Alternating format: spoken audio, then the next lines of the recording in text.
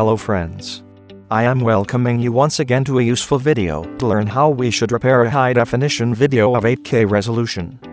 The 8K resolution is the Ultra HD video format that has a 7680 by 4320 pixel resolution.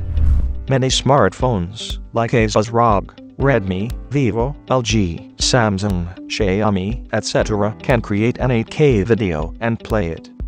When you face an error while running a video, it might be corrupt. You cannot repair a corrupt video file using manual means.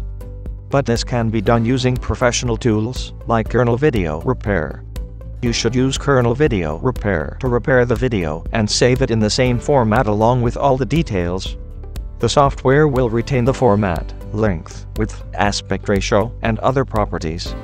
Let's see the working process of the software.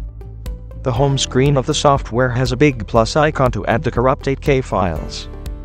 Browse the 8K video files from their locations.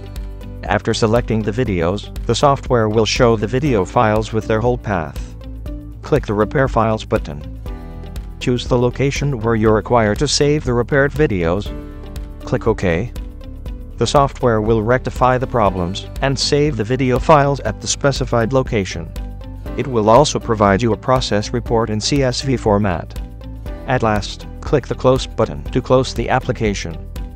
So, Kernel Video Repair has repaired your video files, and you can use them again in the media player. Thanks for watching our video, and please subscribe to our channel to get more such videos that will help you in tricky situations. Also, comment on our video and share it with others. To know more about the video repair software, visit the website